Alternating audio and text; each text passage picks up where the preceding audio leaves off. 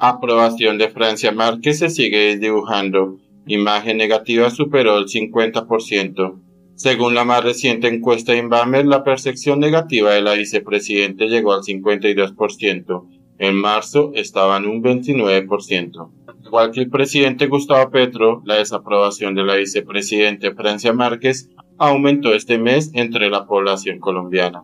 La más reciente encuesta Inbamer reveló que la percepción negativa de la funcionaria llegó al 52%, la más alta en los nueve meses que llevan el cargo y es que sus desafiantes declaraciones tras conocerse que utiliza helicópteros de la Fuerza Aérea y otras aeronaves del gobierno para transportarse y cumplir sus compromisos le han jugado en contra a su imagen y a su gestión. La desaprobación de Francia Márquez pasó de un 29% en marzo a un 52% durante el mes de abril, un aumento del 23% luego de responderle, pues de malas, a quienes la critican por usar las aeronaves del Estado.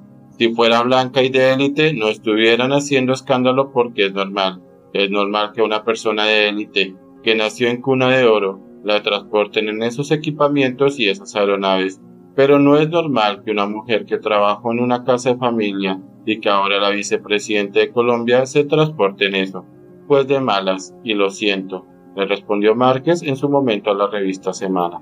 El nivel de aprobación de la gestión de la vicepresidente, por su parte, también bajó del 45% en marzo al 30% durante abril. Los datos consignados en la más reciente medición de Inbamer se obtuvieron con base en las 1.200 encuestas realizadas en Bogotá, Medellín, Cali, Barranquilla y Bucaramanga. El sondeo, que se realizó entre el 14 y el 24 de abril, cuenta con un margen de error del 3%.